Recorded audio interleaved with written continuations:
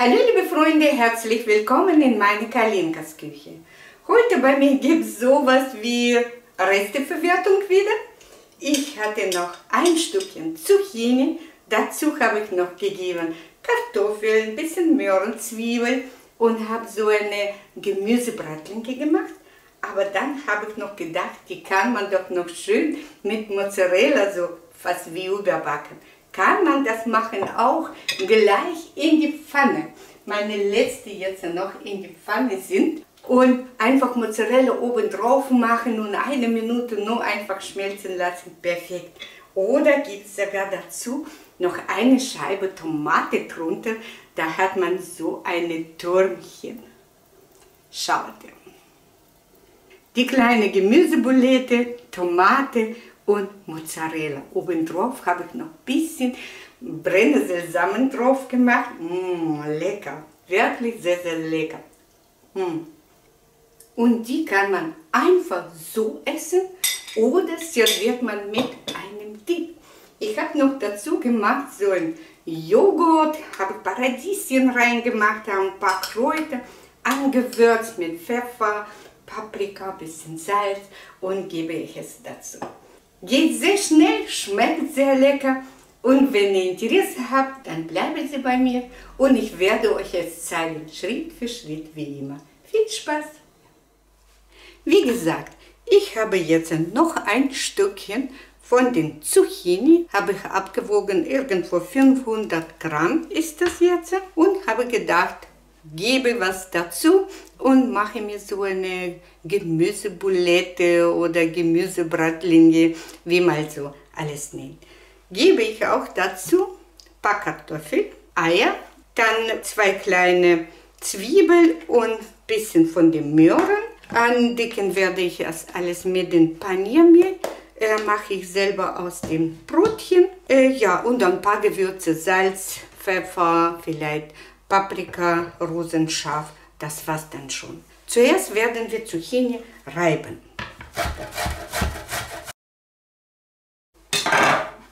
So, das ist etwas einfacher wird, werden wir die halbieren. Die Kerne sind wirklich klein, noch ziemlich weich. Deswegen lasse ich bei den Bratlinge einfach drinnen. Zucchini haben wir fertig geliefert und jetzt geben wir das alles in eine Schüssel.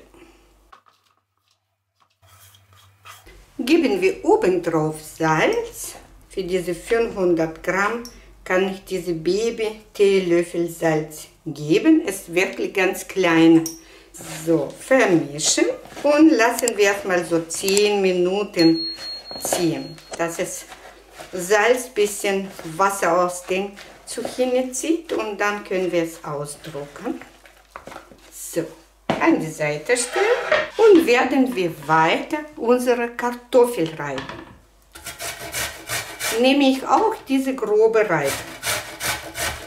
Alle Zutaten zu diesem Rezept, was ich heute nehme, steht unten in der Beschreibung, liebe Freunde. Findet ihr alles da. Geriebene Kartoffel geben wir zurück ins Wasser und lassen wir es im Wasser stehen. Jetzt haben wir noch Zwiebel und Möhren. Möhren könnte man auch reiben, aber die waren so klein, deswegen werde ich einfach die mit Mixer mit zerkleinern, zusammen mit dem Zwiebel. Wenn ihr mögt, könnt ihr auch ein bisschen Knoblauch dazu geben. So, das wird schon ausreichend. So, nach 10 Minuten sehen unsere Zucchini-Schaute so aus. Haben die richtig viel Wasser gelassen. Und das geben wir jetzt auf so ein Tuch, habe ich mir gemacht, aus Fliegennetz. Und da habe ich mir sowas genäht. Und es ist wirklich sehr bequem für solche Sachen. Das Beeren absieben oder einen Saft machen. Und auch jetzt für Zucchini sehr gut und richtig schön ausdrucken. Schaut, wie viel noch Saft kommt raus. So, geben wir jetzt unsere Zucchini wieder zurück. Und genau das gleiche mache ich jetzt auch mit Kartoffeln. Können wir gleich diese gleiche Sack auch nehmen und Kartoffel drauf geben. Dann machen wir einfach alles hier rein und auch ausdrucken. Und das geben wir auch gleich zu den Zucchini. Jetzt ist Kartoffel viel mehr als Zucchini. Auch dazu kommt die Möhren und Zwiebeln. Verrühren wir erstmal. Alles ein bisschen zusammenmischen. So, und jetzt werden wir noch ein Ei dazu geben. Umrühren.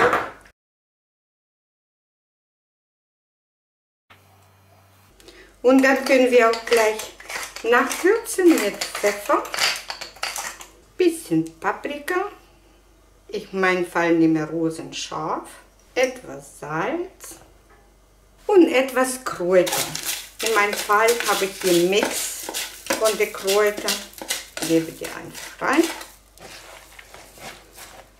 und werden wir alles gut verrühren. Ich werde jetzt Hand nehmen, weil ich möchte fühlen, wie mein Teig ist. Und es ist viel, viel besser dann auch äh, verknetet. Fühlt man, wie flüssig ist der. Und jetzt kommt dann Paniermehl. So, so ein Messbecher ist 35 Gramm, habe ich schon mal gewogen. So, gebe zwei und das ist dann 70 Gramm. Und dann werden wir sehen ob wir noch mehr brauchen oder nicht. Es wird sowieso plus minus da sein. Ich glaube, das ist ausreichend. Die Masse hält sie sich gut in die Hand. Dass wir können so eine Gemüsebratlinchen machen. Jetzt lassen wir nur unsere Masse so nur 5 Minuten stehen. In dieser Zeit bereiten wir schon die Pfanne zum Braten kann man ganz bisschen probieren, ob das gewürzmäßig alles gut ist. Ja, jetzt ist aber lassen wir unsere Teig jetzt nur 5 Minuten ruhen.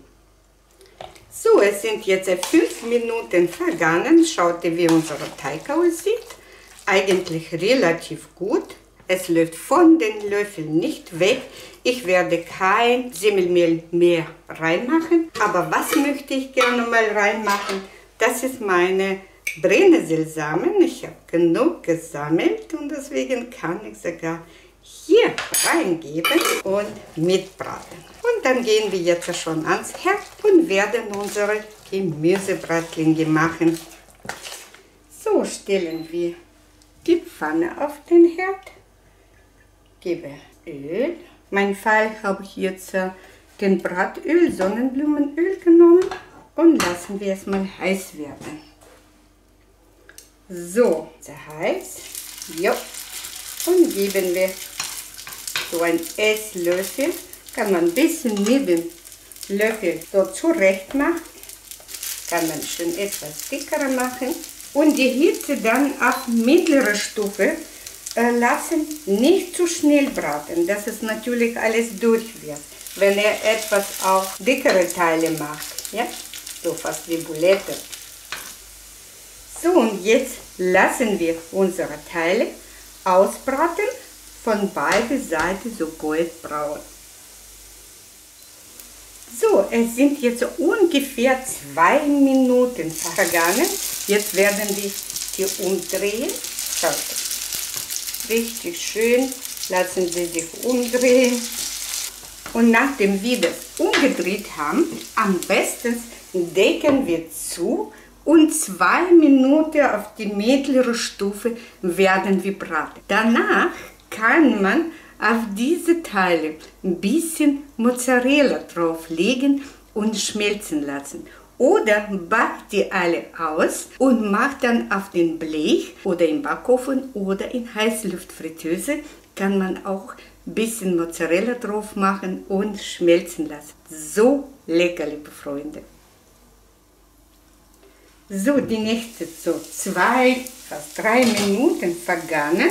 Schauen wir jetzt, wie ist das auf die andere Seite. Noch gebraten müssen. Die kann man auch zweimal umdrehen, wenn so ist. Ja? schaut, liebe Freunde, selber, wie es das bei euch funktioniert.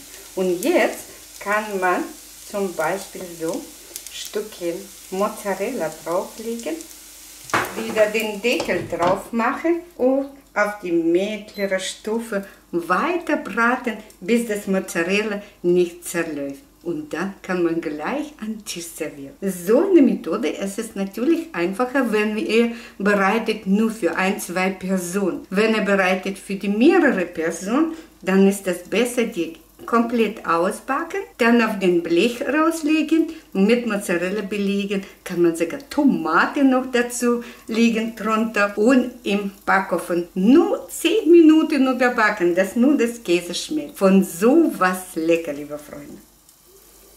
So, es ist nicht mal Minute vergangen. Schaut, wie das schon aussieht. Und wir werden schon eine rausnehmen und probieren. Die restliche decke ich noch zu. So, meine Lieben, jetzt schauen wir. Mmh, ist das köstlich. Nur mit einer Hand ist schlecht, hier zu schneiden. Aber ich möchte gerne es probieren, ob das alles durch ist.